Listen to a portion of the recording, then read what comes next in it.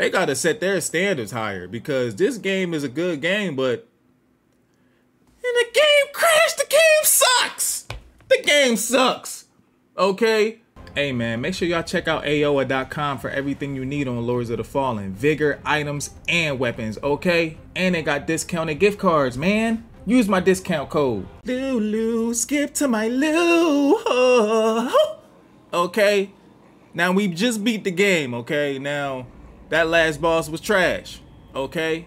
But the game is okay. The game is good, okay? I'll give it a 7 out of 10, okay?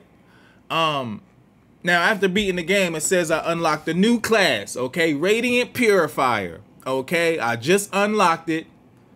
So for those of you who be in the comments, oh, this is your second playthrough. Oh my god, this you played this already. You on New Game Plus 3. Shut up, your mama.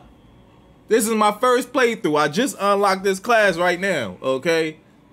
Next. Start new journey? No, okay? Continue current journey. Okay? I'm gonna continue my current journey, okay? Because I don't feel like starting over, okay? Let me go to the start menu so y'all can see how many hours I got. Let me exit to the main menu. And I hope it glitches and, and messes up so y'all can see that on the Xbox Series X, they still didn't fix this shit. But we gonna see. Hurry up and load, okay? Hurry up and buy. Look at this shit. You see this? Y'all seen it. The game been out for a month.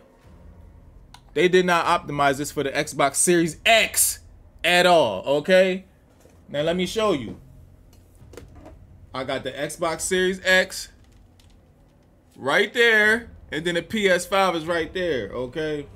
This is my only save file right here, okay? Obviously, I'm I beat the game at level 111, okay? Um, I was the Orian Preacher. Time played, I spent 106 hours 53 minutes. Okay. And I just beat the game. 60 radiance, for, uh, 45 vitality, 25 endurance. And then everything else is everything else. Okay. This is my build. Okay. Let me load the game back. Like I said, the game the game is good.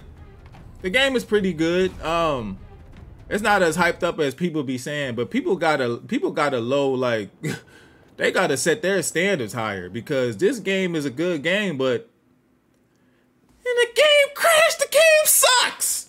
The game sucks. Okay? Two out of ten.